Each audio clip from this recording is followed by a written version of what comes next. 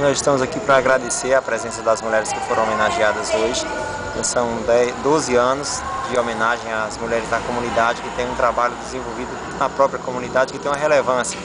Então a gente, essa, essa homenagem é uma iniciativa do Grupo da Terceira Idade que busca fazer essa, esse reconhecimento.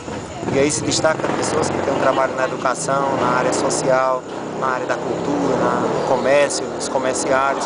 Então tem todo um critério de seleção para essas pessoas para que elas possam ser homenageadas. Então é um reconhecimento que o SESC faz com muito carinho, com muito zelo e que a cada ano a gente vai buscando mais 10 mulheres para essa festa. Então nós tivemos aqui a presença das 10, uma festa muito bem organizada, muito bem participada pelos, pelos familiares das, das, das mulheres homenageadas e foi uma festa assim que elas mereciam, né? um reconhecimento justo que todas elas merecem.